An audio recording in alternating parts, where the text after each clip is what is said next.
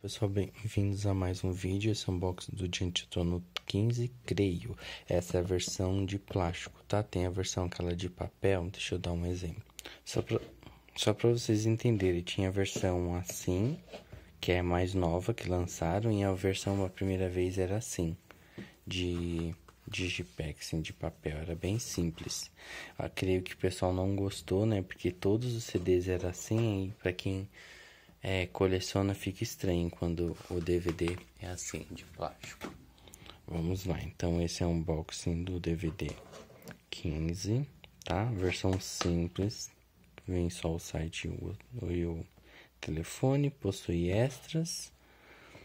Deixa eu colocar aqui para vocês lerem a mensagem. E só isso, o DVD.